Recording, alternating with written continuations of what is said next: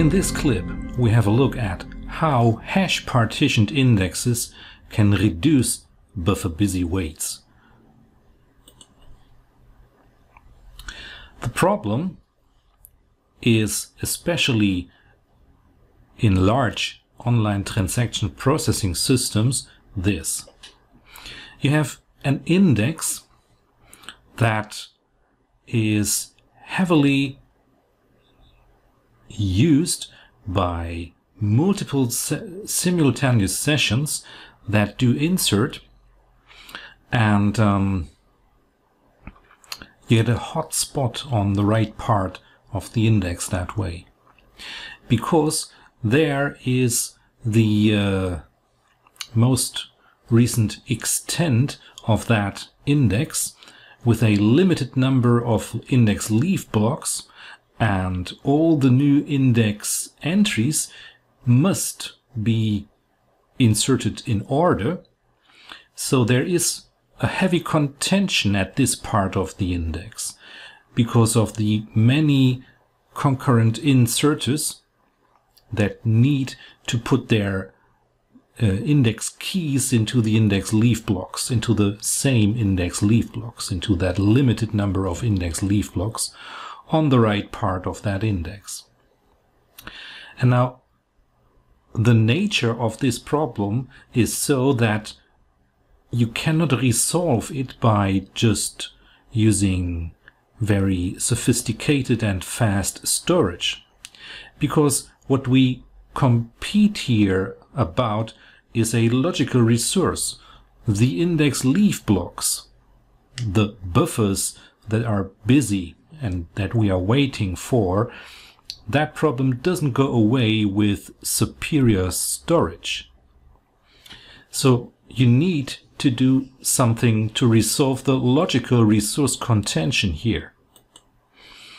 And this here, that is one solution of that problem with a hash partitioned index. Say, for example, we have 32 hash partitions here. The smaller black rectangles, they stand for the hash partitions. Then we have roughly a 32 times reduced contention here. So that is roughly what we will see here in this clip in a moment.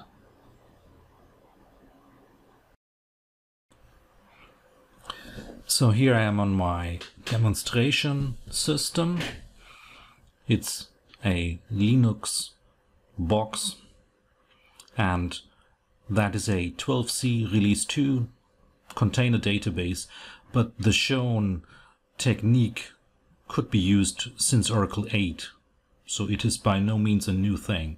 I just create a ordinary table T and an ordinary index, nothing special about these two, and a sequence that is later used to provide the IDs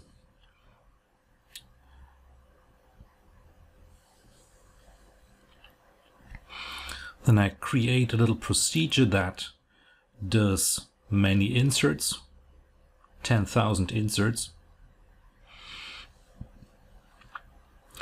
and the next procedure that simulates uh, 100 sessions.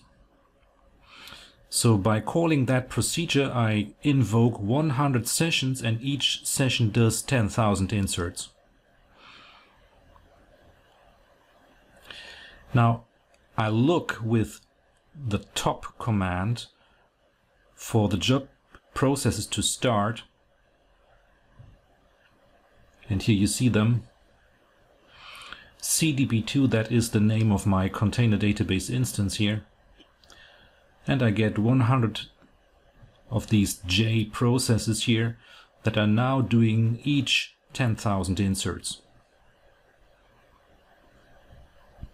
Now after a while they are done.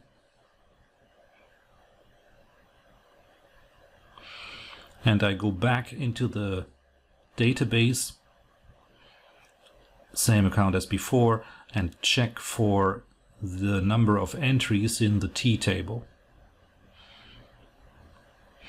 1 millionth, so that's done. And did that cause buffer busy waits? Yes.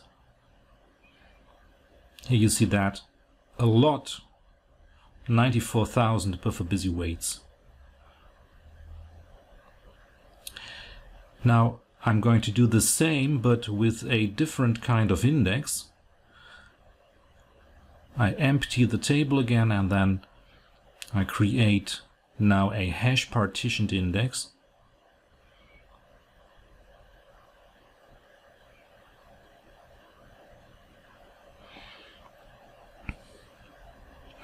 Thirty-two hash partitions, and then I execute the same procedure that calls for the 100 sessions again, like before. Now I could use top again, but I just look instead at the number of rows in the table T, so it happens the same this time also, of course. Just with reduced contention if everything works as desired.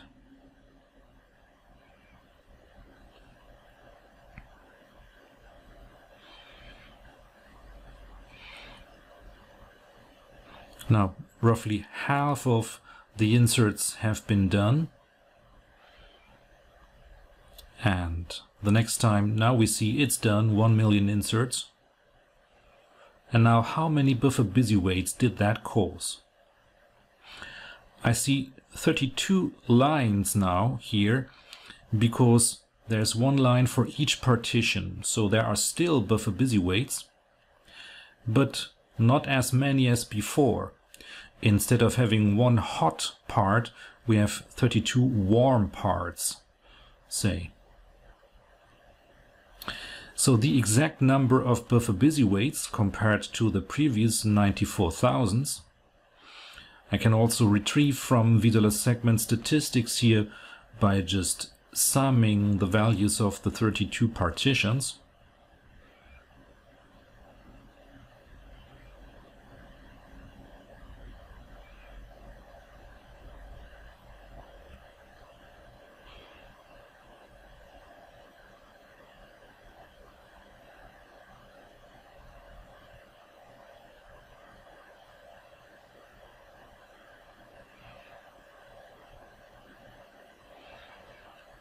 And here we see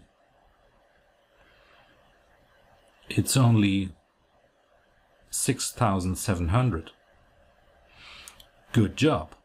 We reduced the contention to a large degree.